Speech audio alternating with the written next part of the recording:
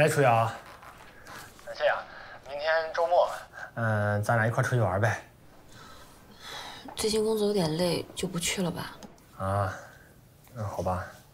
啊，对了，嗯，洛叔最近干嘛呢？我怎么一直联系不上他呀？我也不知道他在干嘛呢。他不会故意躲着我吧？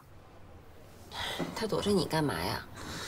可能是事儿多呗，让他清静几天吧。嗯，好吧。